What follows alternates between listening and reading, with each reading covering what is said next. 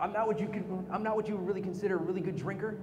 Um, I started very late. I didn't start drinking until I was like 24, 25. So I had this ex-girlfriend whose name is Maria, and not because all I did was Latin girls, but because that's who lived in my neighborhood and I'm lazy, right? So every time we went out, she would give me a hard time. She'd be like, you know what? It's no fun to go out with you because when we go out, I drink and you don't. I'm like, yeah, I know because somebody has to drive. And she didn't care. So finally, there's a night where we go out, and I'm like, you know what, baby? I'm gonna have a drink with you tonight, but help me out. Let me know what I should get.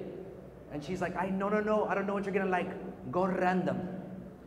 On your first night of drinking, whoever you're with should never tell you to go a random because it's gonna go a wrong. So I was like, okay, you're useless. I'll figure this out by myself. I see the bartender shaking up a tall drink. He slides it down the bar, and somebody starts to drink it. And I was like, bartender, I'll have whatever you just made that dude over there. He gave me the bartender head nod, and he shook up another tall drink. I'm gonna describe this drink to you. And if you know it, we're gonna have a moment to say it together. It is a tall glass filled to the top with ice. It is clear, a tint of yellow, and a tint of brown with a wedge of lemon on the corner. What I ordered on my first night of drinking ever is a Long Island iced tea. From the sounds of it, many of you have met this whore. Because here's the thing about a Long Island if it is made properly, you're not supposed to taste the alcohol. And this place made it very proper. Because I smashed the first one because it is a hot 96 degree day in Chicago summertime. And I crush it.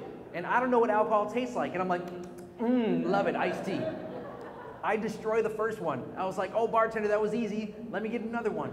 He slides me another one. I crush that one. I was like, mm, one more time. Ask for a third one. I get to my third Long Island iced tea.